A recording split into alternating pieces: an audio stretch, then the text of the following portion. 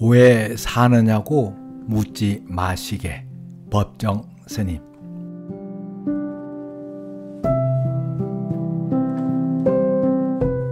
왜 사느냐고 어떻게 살아가느냐고 굳이 묻지 마시게.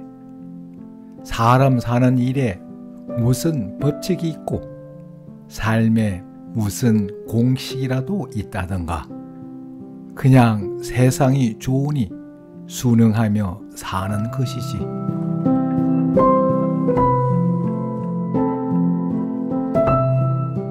보이시는가? 저기 푸른 하늘에 두둥실 떠다니는 한 조각 흰 구름. 그저 바람 부는 대로 흘러가지만 그 얼마나 여유롭고 아름다운가.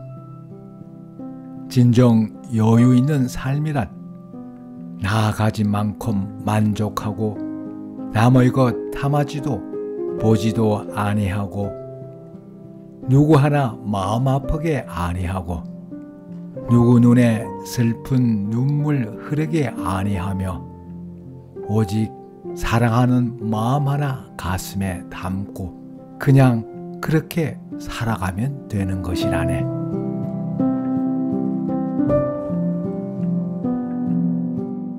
남들은 저리도 잘 사는데 하고 부끄러워하지 마시게.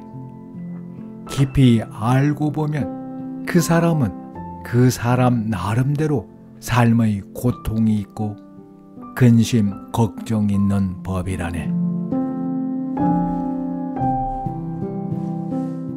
옥에도 티가 있듯 이 세상 완벽이란 존재하지 않는다네.